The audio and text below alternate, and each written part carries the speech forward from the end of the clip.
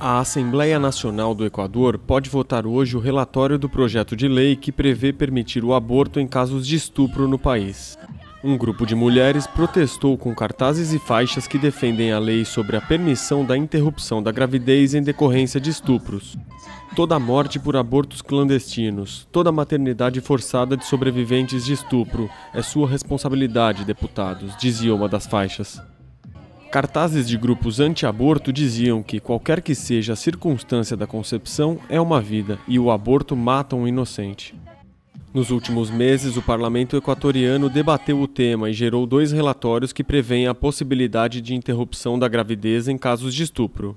Foi formada a maioria que defende a permissão para que meninas e adolescentes menores de 18 anos vítimas de estupro possam fazer a interrupção voluntária da gravidez até 22 semanas de gestação. Já a minoria apoia o projeto que permite o aborto até seis semanas de gestação para mulheres maiores de 18 anos e até 12 semanas para menores de 18 anos.